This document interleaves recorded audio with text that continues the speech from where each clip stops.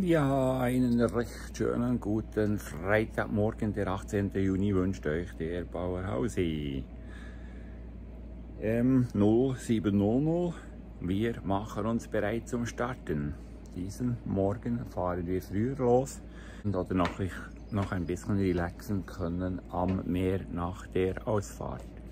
Es geht von hier aus ins Landesinnere der Leandro hat uns die Pässe rausgesucht.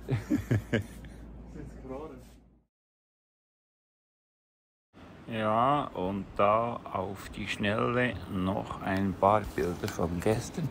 Hier auf einem Pass ähm, kann es, das Passschild ist dermaßen überklebt, man sieht äh, den Namen nicht mehr.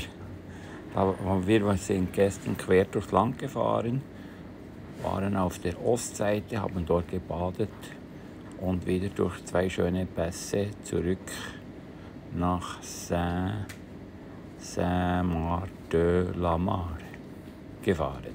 Tschüss zusammen, ciao, ciao.